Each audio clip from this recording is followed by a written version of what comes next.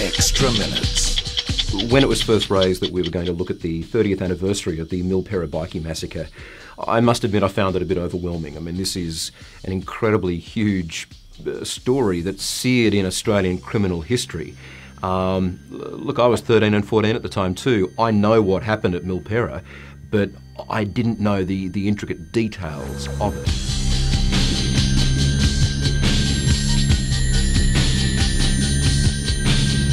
Of course, there are many people that lived through that day. It shocked Australia. It was put to me by some of the people when we were interviewing the story that, in fact, in some way, Australia lost its innocence that day, which sounds like a big statement.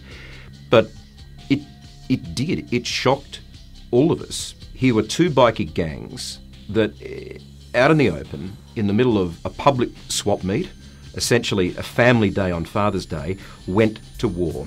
And they were both armed like private militias. It was chaos and it was absolute carnage. And when one shot was fired, it was on.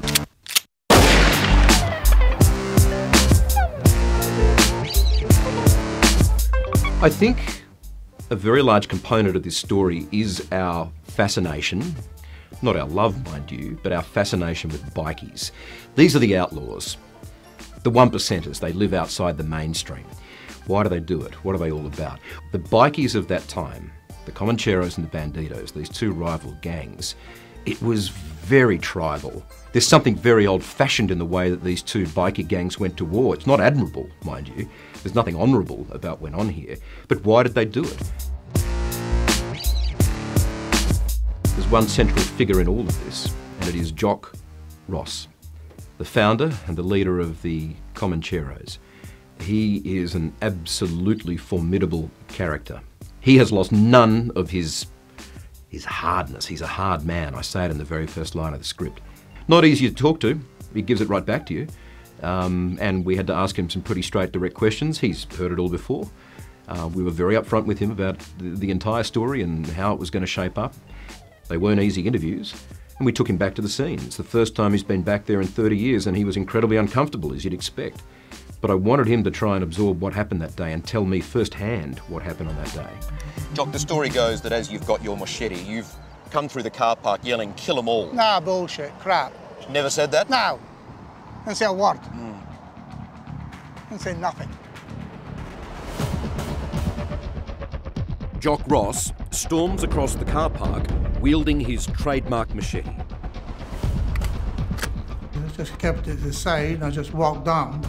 I came across the first bandito on there. I pointed at him as I was walking towards him, brought it across my shoulder. He just turned and he, he went, he left. I could have two more steps, I could have cut him down, but let him go.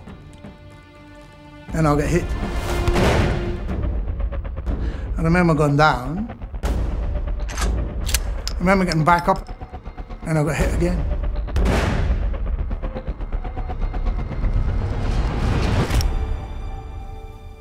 There is one thing that will stick with me in this story, and as soon as Jock Ross said it to me, uh, it, it hit me between the eyes. The Milperra massacre has been analysed for years. It was one of the longest trials in Australian history, the longest in New South Wales. Incredible amount of charges, all these bikie gangs, seven dead, an innocent girl, shocked Australia.